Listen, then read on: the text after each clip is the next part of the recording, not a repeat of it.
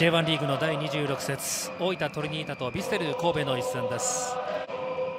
残留争いのためには3ポイント必要なトリニータ。一方 ACL を狙っています神戸の激突です。で今日のトリニータのメンバーです。キーパー高木最終ラインにサカエンリケ・トレビザン三竿中盤少し連戦の中で変化を加えて長谷川ワイドは神戸から完全移籍の増山左香川。2列目に町田野村そして小屋を長澤とコンビを組ませるとこういうタレントにしました。一方の神戸です。キーパー飯倉。え今日は最終ラインフェルマーレンがいません。酒井豪徳初瀬が下がってセンターに菊池小林勇輝セルジー・サンペールは出場停止明け豪家山口イニエスタ。そしてヨーロッパから戻ってきました大迫武藤。2人が揃って先発出場します。最初のコーナーキックです。キッカー野村初瀬は親を見てましたけれども相手の入りを見てマーカーを変えました。フリーマンとマンマークの連携ニアサイドを使ってきた。大外ゴールイン。ファーストコーナーで点を取りましたトリニータちょっと神戸も準備の段階でおかしかったですね、ね、ちょっとミスマッチがあったのか、えー、マーク変えましたからね。ファーサイド香川あの小屋がキーパーの前に立っていて最初、ハッセはついていたんですけれども、うん、ここ前で触られたのは勝負ありですかね、えー、三竿ですね、まあ、ここ数試合、トリンターはコーナーから点取れてますからね、そうですね。これは大きな1点になりましたね。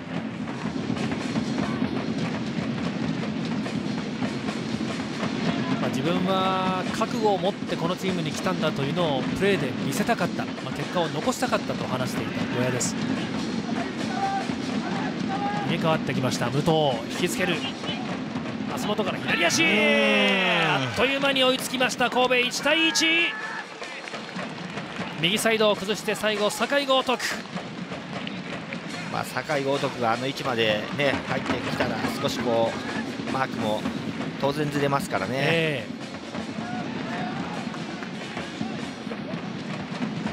ー、まあ、トラップしてからコースはあまりなかったと思うんですけどね、えー、よく見てましたね、まあ、少しから多分入らなかったと思いますしね。少しキーパーとしてはブラインドになって見づらかったと思いますけどね、はい、インサイドでこうよく巻いてサイドネットによくねこう流し込みましたね。こうやって1回相手の目線変えてからですね神戸はね、はい、さあ置いたこういうところで取れるとチャンスですよ。相手のパスミスを拾って町田触って野村縦パス小屋足元。まあ、意図的なコントロールではなかったんですが、ね、今度は粘って増山坂町田。ゴールが近づいてきました。野村引きつける。浮き玉の町田!いやいいくらよく触りましたねまあ、このシュートに対していくらねよく我慢してファインセーブですね。はい。半身でマイボールキープ大迫。収まるんですよね。浮かせて武藤コントロール。ハンドのアピール。そうですね。反転ターンの瞬間相手は手で処理したんじゃないかというアピール、うんまあ、触ってはい。るん。ですね、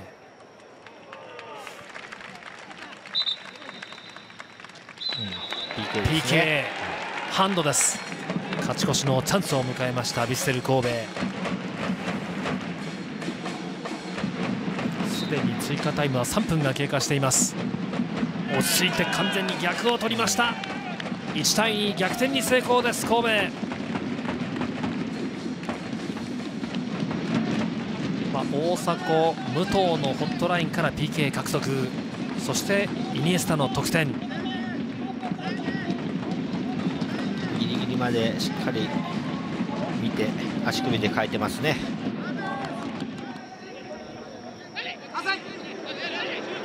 運んでいきます高木。拾って山口狙う。浮き玉のシュートゴールイン。おっとよく触りましたね。バーには当たらず当たってないですね。はい。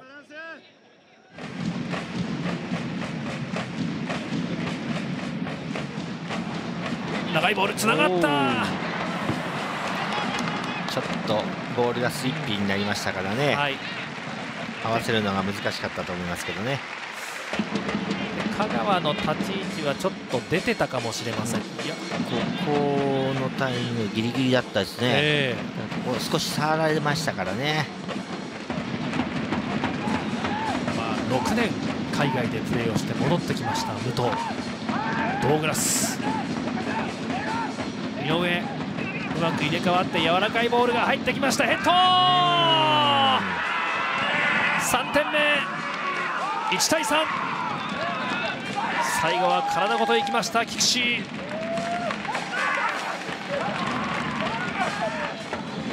まあ、ただこの柔らかいクロスが非常に効果的でしたね。ええ。もうの上から叩きつけた菊池、高木も右に振られながらの左だったんでね非常にこう難しかったと思いますよ